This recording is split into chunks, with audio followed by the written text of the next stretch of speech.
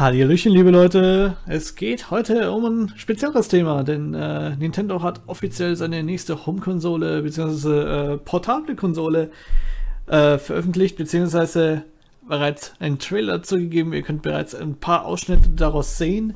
Ich habe mich auch schon in Stimmung gebracht, bin gespannt, ob es zum neuen Zelda Breath of the Wild auch schon Infos gibt. Und in dem Sinne äh, ziehen wir uns mal den Trailer rein, den habe ich mir jetzt mal geschwind auf YouTube mal aufgemacht, damit wir auch hier schön Vollbild haben und alles. Und ähm, ja, wechseln wir gleich mal hier in die Vollbildansicht.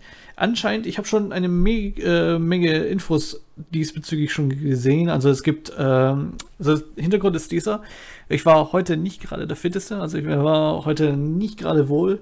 Ähm, hab gerade noch so die Schule durchgekriegt, äh, habe eine Klassenarbeit geschrieben und eine mündliche äh, Prüfung äh, gemacht und bin dann nach Hause gefahren, bin, habe mich direkt ins Bett gelegt und habe von dem ganzen Trubel rund um äh, die Nintendo Switch überhaupt gar nichts mitbekommen. Da gucke ich heute Abend, äh, check so meine Mails, check so meine Nachrichten, äh, sehe ich Game Explain hat äh, Video gemacht zum neuen Nintendo Switch. Da dachte ich, was? Nintendo Switch, wo kommt das jetzt her? Was, was, was ist damit? Und äh, ja, zu dem gegebenen Anlass. Und äh, da das jetzt ein sehr aktuelles Thema ist, würde ich dann direkt mal heute mir das, äh, die Konsole selbst anschauen. Einige Erwartungen scheinen sich zu erfüllen. Ich wart, äh, schauen wir uns erstmal in aller Ruhe den Trailer an und dann rede ich noch mal ein bisschen was dazu. So, starten wir mal das gute Ding. Und äh, würde einfach mal sagen, so ungefähr auf der Lautstärke. So, genießen wir erst einmal.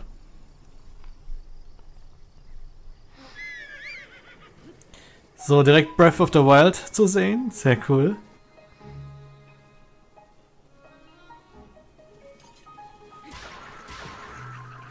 Mhm, auch ein bisschen neues Gameplay und alles. Ah, Hund will aber Gassi. Kein Problem. Ah, okay. Ah, man kann quasi so, so Teile nehmen und sie an, an, den, an den Konsole stecken, um dort unterwegs weiter zu zocken. Krass. Und wie es aussieht, kannst du dann auch wunderbar zocken unterwegs. Wie das Ganze funktioniert, werden wir dann wahrscheinlich auch gleich zu sehen bekommen. Aber ja, für Flüge und sowas ultra interessant. Ey. Ah, ein, ein, ein, ein Stick oder irgendwas wurde da reingesteckt. Eine Karte. Und dann kannst du unterwegs zocken, oder was? Ja. Sag bloß, er nimmt jetzt auch die Controller runter. Alter, Skyrim? Wirklich? Okay. Tatsächlich. Alter, das ist genial. Also für Flüge, für Reisen ist das ja mal echt cool. Okay, gibt auch wieder ein, eine Controller-Fassung, wie es aussieht. Ja, jetzt ist es angekommen, jetzt kann es weitergehen. nicht schlecht, nicht schlecht. Oh ja, ja, es gibt auch noch ein äh, Mario Kart. Oh, King Boo? Sehe ich das richtig? Okay, also eine, eine erweiterte Version mit weiteren Charakteren und alles. Sehr cool.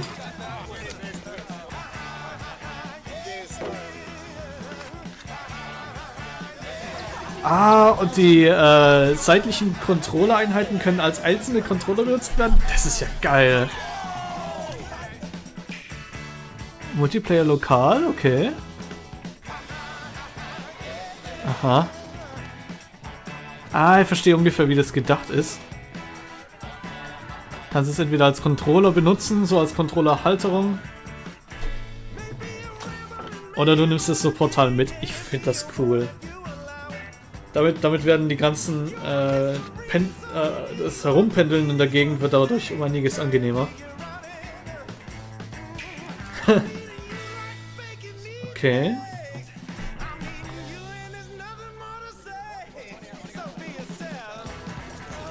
Splatoon natürlich, darf nicht fehlen. Du kannst doch irgendwo rumhocken und einfach das Ding anschließen. Ich find's Hammer. Alter, für Conventions, für sowas voll geil.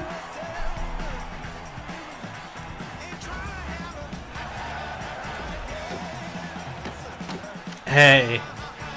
Das Konzept ist gut. Ah, ich sehe neue Frisuren bei Splatoon. Also gibt es eine erweiterte Splatoon-Version ebenfalls. Die Modelle sehen auch sehr schön aus. Also sehr viel Grafikpower steckt da tatsächlich in dem Gerät drin. Nicht schlecht. Hm.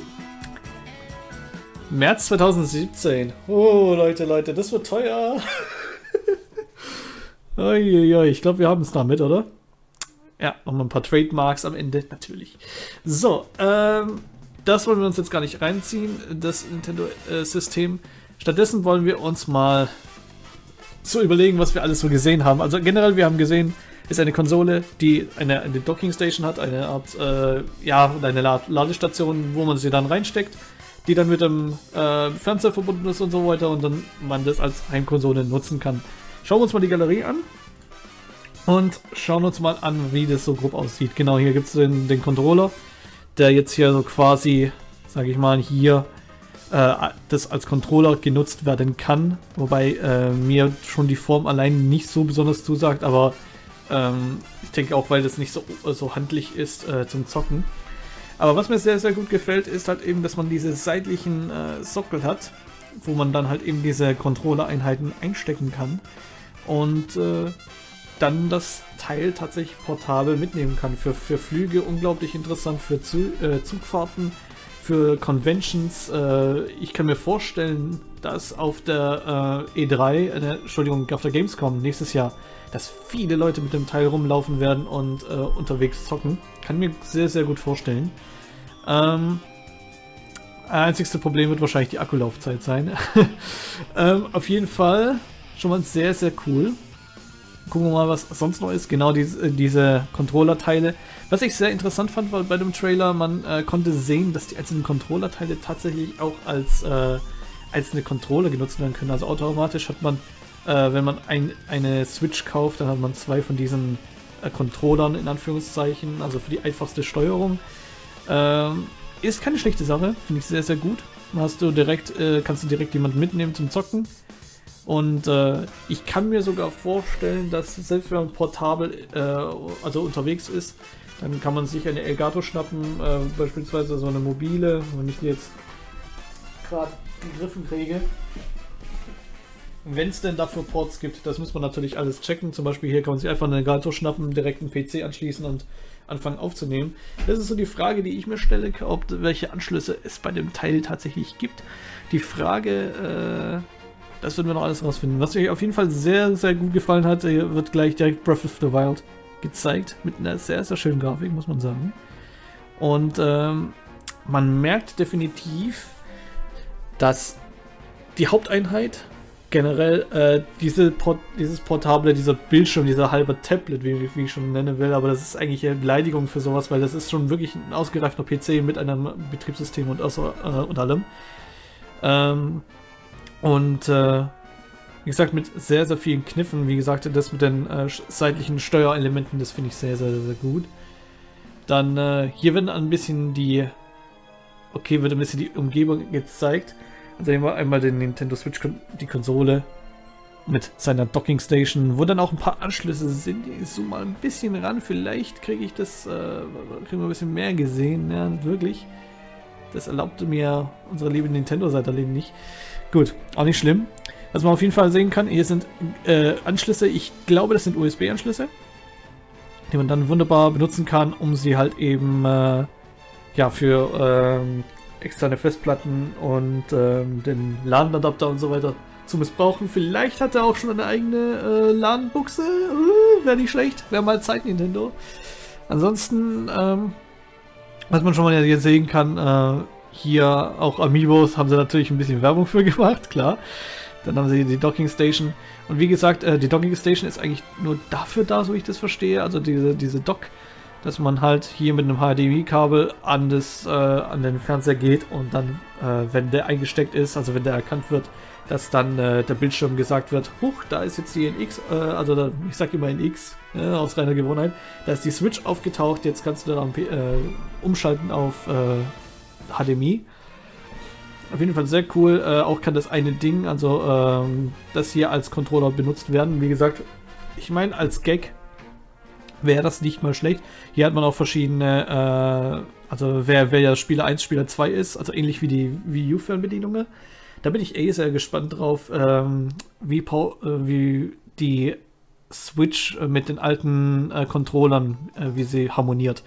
Ob überhaupt und äh, wie auch immer, das wird sich dann noch zeigen.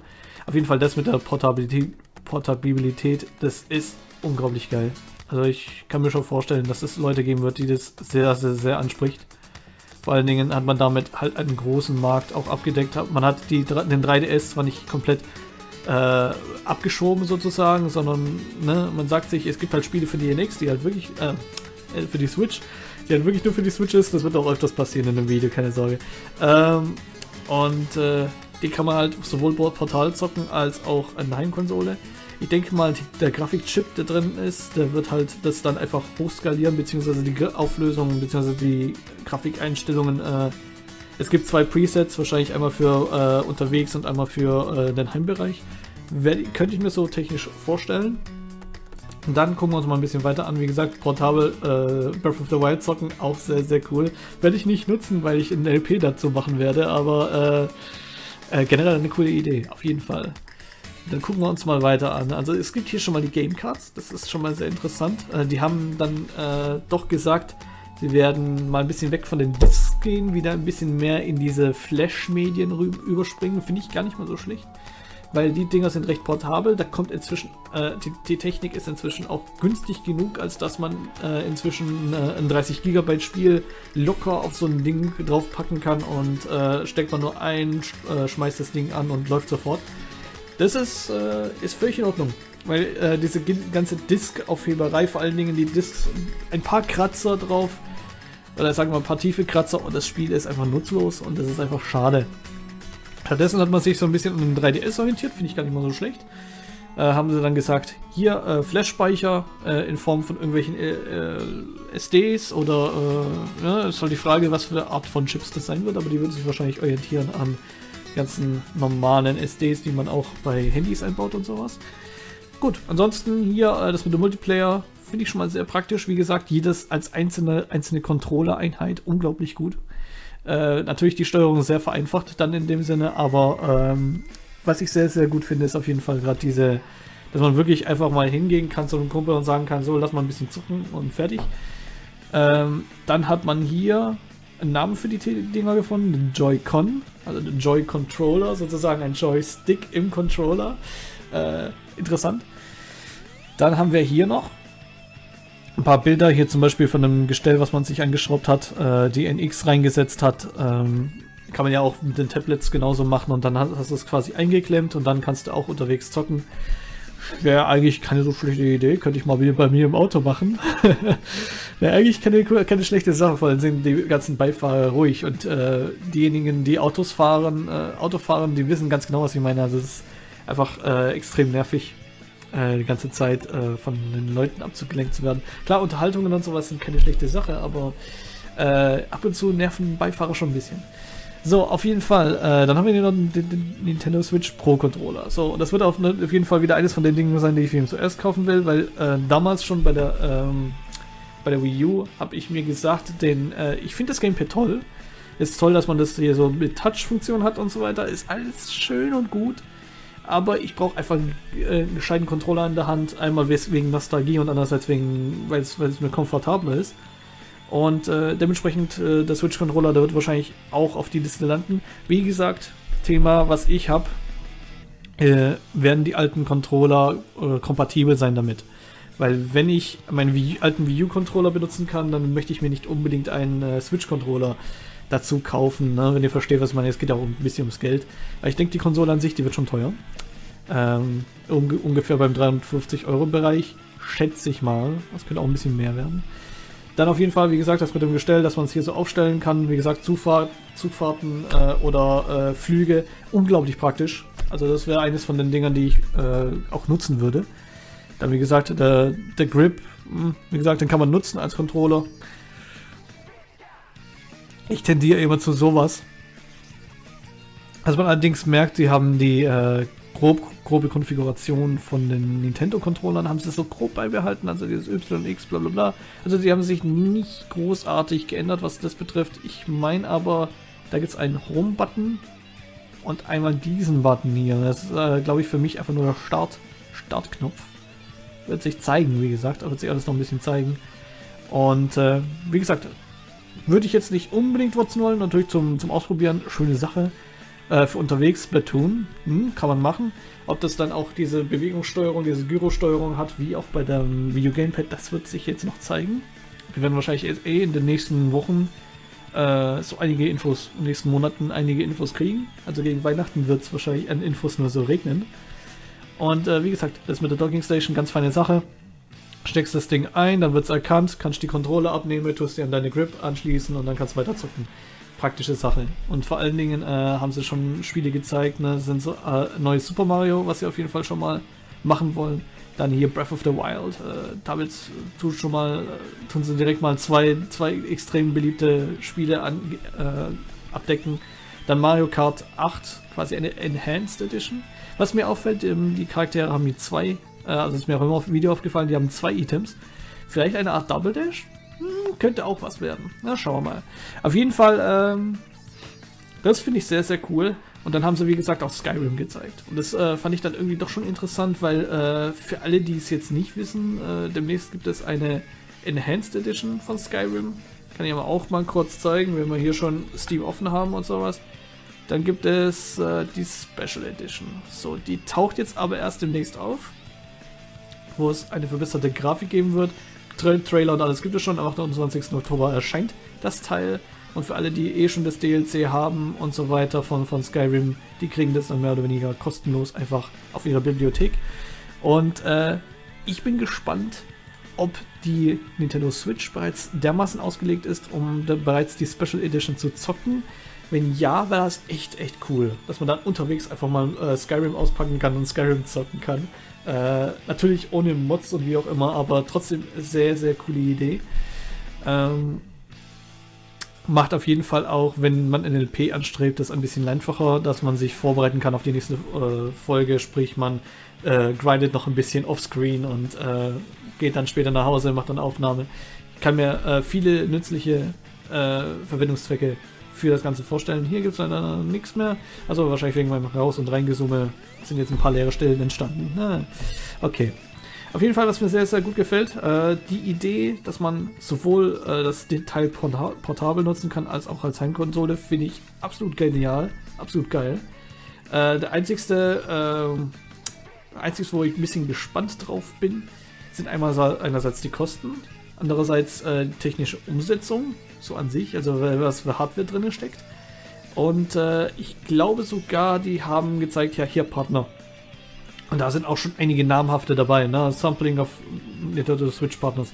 Atlus ist direkt auf den Zug aufgestiegen, Bandai Namco, vielleicht gibt es mal endlich ein Tales of oder äh, etwas äh, ähnliches auf der äh, Nintendo Switch. Würde mich mega freuen. Bethesda natürlich mit Skyrim, Capcom. Und wenn man jetzt mal so grob, grob drüber guckt, ich, ich, schaue mir jetzt gerade die ganzen EAs und sowas, das überfliege ich alles. Äh, Integrates ist sehr interessant.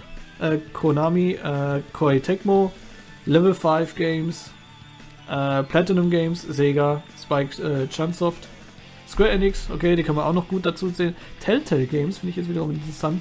Müsst ihr euch mal vorstellen, ein äh, Telltale Game äh, Spiel äh, im Mario-Universum, so, ne? Irgendwie interessant. So mit Mario und Luigi, ne? Ähm, okay. Und äh, Havoc ist auch dabei, finde ich sehr cool. Unity wird ebenfalls unterstützt. Da kann ich mir vorstellen, dass es einige äh, Third-Party-Spiele geben wird, äh, die Unity nutzen, also Unity als Flash-Spiele, äh, also äh, Plattform-Software. Fände ich sehr gut. Und äh, ja, wie gesagt, wie ihr sehen könnt, schon einiges an, an, an geilen, äh, geilen Herstellern, geilen Entwicklern dabei. Und äh, ich bin gespannt. Bin auf jeden Fall sehr gespannt, wie äh, die NX sich. Äh, ich sag jedes Mal nix. Das ist furchtbar wenn die Gewohnheit einmal eingesetzt ist. Ne? Ähm, wie die Nintendo Switch sich so macht und äh, generell, äh, was die Kosten wären. Auf jeden Fall muss ein sehr leistungsstarker, äh, sehr leistungsstarke CPU drin sein, also ein starker Prozessor, eine starke Grafikeinheit, also sprich ein Grafikchip der neueren Generation. Und wenn man allein das mal zusammenhängt, zusammen mit der eigenen, also mit der eigenen äh, Architektur, sprich Controller, sprich Docking Station und so weiter, dann kann man schon von einem Preis ausgehen, der bis zu die 400 Euro gehen kann. Wenn es ein bisschen, es könnte sogar ein bisschen mehr werden. das ist das, was mir ein bisschen Sorgen macht bei der Konsole, aber Was mir sehr, sehr gut gefällt generell, die, äh, die Nintendo Switch hat schon mal diese schöne Möglichkeit hier mit der Gamecard. Ich frage mich, wie die das dann handeln werden mit dem äh, mit äh, eShop-Geschichten. Wie groß wird der interne Speicher sein? Ist er erweiterbar? Solche Geschichten. Es gibt auch genug äh, SDs im Bereich von mehreren Terabytes, mit denen man tatsächlich auch äh, mehrere Spiele runterladen, also äh, speichern könnte. Äh, ob das dann ein Thema wird oder ob man dann komplett vom eShop ein bisschen so weggeht und sich sagt, äh, Leute, kauft die Gamecards, weil die sind äh, erstens nicht so ähm, es sind eh Flash-Speicher. Es ist im Prinzip auch nichts anderes, als wenn man das Spiel jetzt äh, auf dem Teil äh, lokal hätte, gespeichert hätte und dann einfach ausführt. Das ist genauso Flash, äh, Flash-Erzeugung wie, wie auch bei der, bei der Gamecard. Und das würde mich interessieren, wie die dann weitermachen mit dem eShop. Und generell, wie viel Platz das gute Ding hat und sowas. Technische Infos gibt es an sich nicht. Ja, Technologie können sich noch ändern, ja, gut, klar, also der Joy-Con kann sich auch noch ändern. Wie gesagt, was mir sehr gut gefällt, äh, die alten Spiele, Splatoon war eh schon lange im Gedanken, dass man vielleicht ein Splatoon 2 rausbringt. Vielleicht ist das eine Richtung, in, äh, also etwas in der Richtung. Und äh, was mir sehr gut gefällt, wie gesagt, also für, mich auf jeden Fall unglaublich praktisch, dass man hier mal unterwegs sich einfach mal die, äh, die Switch schnappen kann, äh, die Controller äh, dran baut und dann unterwegs zocken kann. Oder die eben als äh, die auseinanderbaut, die als Controller nutzt, ohne die Grip. Also ich würde die ohne die Grip nutzen. Und äh, ja, so, so Wartezeiten oder generell äh, Flug, äh, Flugzeiten überbrücken. Sprich, wenn man einen Flug hat über mehrere Stunden. Also ich habe es mir jetzt zur Gewohnheit gemacht, dass ich beispielsweise nach Kanada fliege und jemand, der schon weiß, der Richtung äh, USA unterwegs war mit dem Flugzeug, ist halt ein, äh, ist halt ein Weg von mehr als 8, äh, 7, 8 Stunden. Und äh, natürlich mit Zeitverzögerung, pipapo, aber 7, 8 Stunden Flugzeit ist das ungefähr. Und äh, der 3DS, der hebt auch nur 3 Stunden. so 3, 4 Stunden maximal. Und danach muss man sich ja gucken, dass man sich mit Zeitschriften oder Musik ablenkt oder sowas. Und äh, generell die Nintendo Switch interessiert mich sehr. Also Fragen, die ich mir noch stelle zur äh, Nintendo Switch, ist äh, Kosten, Technik, die drin steckt und äh, Akkulaufzeit. Weil Akkulaufzeit wird auch ein großes Thema werden, denn wenn es äh, Spiele sind mit äh, hoher CPU-Auslastung, hoher Grafikauslastung, dann äh, werden die Bauteile entsprechend heiß, dann brauchen die entsprechend mehr Strom, dann verbraucht sich entsprechend mehr Akku und dann ist halt die Frage, macht das Portable Sinn? Also ich würde das Portable, äh, die portable äh, Möglichkeit dann für sinnvoll sehen, wenn es über zwei oder drei Stunden die Möglichkeit hat, wirklich äh, zu leben. Besonders was mir Sorgen macht, ist, wenn man unterwegs ist und äh, dann wird es wahrscheinlich keine Möglichkeit geben, im Internet zu zocken. Sprich Mario Kart irgendwie unterwegs zocken im, im Netz. Ähm, Vielleicht über einen WLAN-Hotspot, den man sich beispielsweise übers Handy macht oder wie auch immer. Oder äh, wie das Ganze realisiert wird. Aber generell sehr interessante Geschichte. Ich hoffe, äh, da kriegt man in nächster Zeit mal ein bisschen mehr Infos zu. Äh, ich würde mal sagen, an der Stelle, das wäre jetzt erstmal alles, was ich dazu zu sagen hätte. Auf jeden Fall unglaublich interessant. Großes, großes Thema. Ich bin gespannt, was wir noch in den nächsten Monaten so erfahren werden. Und äh, mit einem Erscheinungsdatum direkt im März 2017 Gut, man muss sagen, das Produkt sieht schon fertig aus. Man äh, überlegt sich noch die Namensgebung und sowas. Man hat sich auf jeden Fall schon mal auf die Nintendo Switch geeinigt als äh, Name. Und äh, anscheinend viele große Entwickler dabei. Also an sich sehr interessant das Ganze. Bin mal gespannt. Hoffe, ihr seid auch gespannt. Ich mache mal an der Stelle einen Schlussstrich. Und bin gespannt auf eure Kommentare, was ihr von der Nintendo Switch haltet. Und äh, ja, was ihr vielleicht noch so ein bisschen mitbekommen habt. Auf jeden Fall die Gerüchteküche um die NX, ne, die jetzt Nintendo Switch heißt, ähm, doch sehr, äh, doch sehr viel hervorgebracht, was auch tatsächlich hervorgekommen, äh, was auch tatsächlich vorgekommen ist, nämlich das mit der Portabilität, mit äh, der Geschichte, dass man halt eine Docking Station hat zu Hause. Wie gesagt, welche Anschlüsse und so weiter, das, da bin ich noch sehr gespannt drauf. Da äh, wird sich dann noch zeigen, wie das Ganze dann tatsächlich und wie man da tatsächlich unterwegs ist mit dem Teil. Wie gesagt, USB-Anschlüsse gibt es ich schätze mal das USB oder das ist HDMI. Ich kann es nicht sehen, weil das Screenshot ist viel zu klein. Aber äh, generell äh, gefällt mir das sehr, sehr, sehr gut. Wie gesagt, Controller ist auch so eine Geschichte, weil ich möchte nicht 20.000 verschiedene Controller haben. Ich habe ja schon PlayStation-Controller, ich habe ja schon äh, Wii-Fernbedienungen, ich habe Classic-Controller, ich habe äh, äh, die Fernbedienung Plus, äh, den Pro-Controller und, und, und, und. Und inzwischen habe ich so viele Controller, dass ich äh, mir langsam Gedanken mache, hoffentlich, hoffentlich äh, gibt es eine Möglichkeit, dass man auch die alten Controller nutzen kann dafür. Wenn nicht, wäre das auch kein großer Bruch wegen dieser Joy-Con-Geschichten, also wegen dieser Einheiten. Aber trotzdem wünschte ich mir, dass man dann äh, die alten Controller benutzen kann. Ansonsten, nächste Investition, Nintendo Switch Pro Controller, ist auch schon auf meiner Einkaufsliste. Ne? Gut, Leute, in dem Sinne machen wir mal Schluss und äh, ja, bin mal gespannt auf eure Kommentare. Ne? Haut rein und äh, viel Spaß noch bei dem Herumwühlen in der Gerüchteküche rund um die Nintendo Switch. Ne? Also, macht's gut, Leute. Ciao, ciao.